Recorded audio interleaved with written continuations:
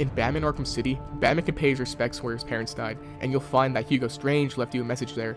I know this is really well known, but I wanted it on my own channel because it's cool. Go to Crime Alley behind the theater, and Batman will kneel down and listen to the speech. Check this out.